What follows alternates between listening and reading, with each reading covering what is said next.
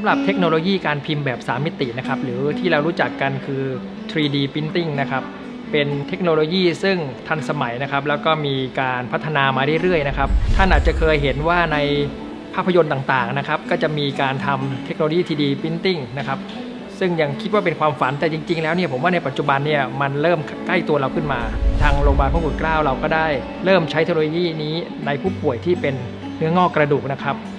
เนื่องจากปัญหาของเนื้องอกกระดูกเนี่ยในบางตำแหน่ง เมื่อมีการทำลายของกระดูกจนหมดไปเลยเนี่ยเราไม่สามารถที่จะหาอะไรมาทดแทนได้ดี เนื่องจากตำแหน่งบางตำแหน่งนี้ต้องการขนาดที่พอดีทำให้เราได้มีการศึกษาวิจัยในครั้งนี้ขึ้นมา โดยการเริ่มต้นจากคนไข้ที่เป็นเนื้องอกกระดูกที่มีการทำลาย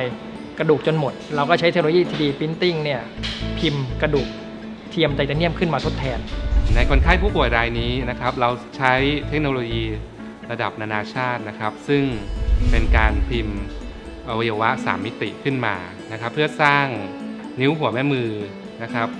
ของคนไข้ให้ใหม่ เพราะว่าการที่คนไข้สูญเสียนิ้วหัวแม่มือไป ก็จะสูญเสียการทำงานของนิ้วมือไปมากถึง 40%นะครับ ซึ่งในรายนี้เราก็สามารถที่จะผ่าตัดได้สำเร็จรุ่ล่วงไปด้วยดี ซึ่งรูปร่างรูปทรงของ สิ่งที่ได้ก็จะเป็นเหมือนกับของผู้ป่วยเดิมนะครับ ทั้งผิวข้อแล้วก็ความยาวนะครับทำให้ผู้ป่วยสามารถที่จะขยับเคลื่อนไหวได้ดี เปรียบเสมือนกับการตัดเสื้อ ซึ่งไม่ใช่ตัดเป็นขนาด S M L นะครับ แต่เป็นการตัดขนาดที่พอดีกับของคนไข้ ซึ่งเหมือนเป็นการทำ telemed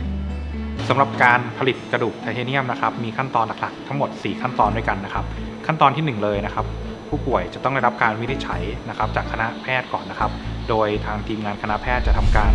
เอ็กซเรย์สามิตินะครับกระดูกของผู้ป่วยก่อนนะครับ เพื่อให้ทราบถึงลักษณะรูปร่างของกระดูกที่มีความผิดปกตินะครับ จากนั้นในขั้นตอนที่ 2 เองนะครับ ก็จะเข้าสู่กระบวนการวิเคราะห์นะครับ ว่ากระดูกที่มีปัญหาเนี่ยจะต้องทำการผลิตในรูปแบบอะไรนะครับ โดยใช้โปรแกรมในคอมพิวเตอร์นะครับ ในส่วนของขั้นที่3นะครับ กระดูกที่ทำการวิเคราะห์ แล้วก็พัฒนาให้มีความใกล้เคียงกับสรีระของผู้ป่วยในแต่ละคนแล้วนะครับ จะถูกทำการปริ้นโดยเครื่องพิมพ์ 3 มิตินะครับ ลักษณะก็จะมีลักษณะคล้ายกับเครื่องพิมพ์ทั่วๆไปนะครับ เพียงแต่ว่าจะปริ้นโดยที่มีความหนาด้วยนะครับ เมื่อได้กระดูกที่เป็นต้นแบบมาแล้วนะครับ ก็จะเข้าสู่กระบวนการสุดท้าย นั่นก็คือการนำต้นแบบที่เป็นเรซินมาทำการหล่อเป็นกระดูกไทเทเนียมนะครับหลังจากที่ได้ไฟล์แล้วนะครับจากทาง ทีมคอมพิวเตอร์นะครับ เราก็จะทำการสร้างตัวไทเทเนียมขึ้นมา โดยตัวตัวเนื้อที่เป็นไทเทเนียมเองเนี่ยได้รับความยอมรับอย่างแพร่หลายนะครับ ว่าสามารถที่จะเข้ากันได้กับร่างกายมนุษย์นะครับ มีความเข้ากันได้ทางชีวภาพสูง ในกระบวนการสร้างเนี่ยเนื่องจากเราเรามีไฟล์เป็นdigital file เป็น 3 มิติแล้วเนี่ยเราสามารถสร้างด้วยกระบวนการทางโลหะวิทยาทั้งหมด 3 แบบนะครับ แบบแรกคือกระบวนการหล่อครับ คือเราสามารถเอาไป ใช้เครื่องพิมพ์ 3 มิตินะครับ เป็นตัวเรซินออกมา แล้วก็เอาเรซินนั้นไปหล่อนะครับ โดยใช้กระบวนการหล่อแบบ investment casting นะครับอีกกระบวนการหนึ่งที่เราใช้ก็คือเป็นกระบวนการพิมพ์ 3 มิติ ก็คือเริ่มจากไฟล์ดิจิตอลเนี่ยเอามาบังคับให้คอมพิวเตอร์ใช้เลเซอร์ในการหลอมในแกน x กับแกน y นะครับ เป็นเหมือนการพิมพ์นะฮะ แต่ว่ามันมีแกน z นะครับ ก็คือเป็นเป็นแกนที่ทำให้ชิ้นกระดูกเนี่ยโตขึ้นมาสูงขึ้นมาได้ ก็คือ เครื่องพิมพ์นี้ก็จะสามารถพิมพ์ได้ทั้ง 3 แกนนะครับ x y z จนสุดท้ายเนี่ยผงไทเทเนียมจะถูกหลอมรวมกันนะครับด้วยด้วยเลเซอร์ แล้วก็ได้เป็นชิ้นกระดูก 3 มิตินะครับในชิ้นงานบางชิ้นที่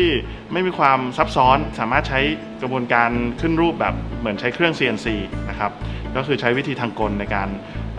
เริ่มจากเป็นก้อนสี่เหลี่ยม แล้วก็สกัดให้ ให้เล็กลง การเปลี่ยนกระดูกเทียม คิดว่าในอนาคตน่าจะมีบทบาทมากขึ้นเรื่อยๆนะครับร่างกายของเราในอนาคตอาจจะสามารถเปลี่ยนอวัยวะเทียมได้เกือบทั้งหมดทุกส่วนนะครับเพราะว่าเทคโนโลยีในทางการแพทย์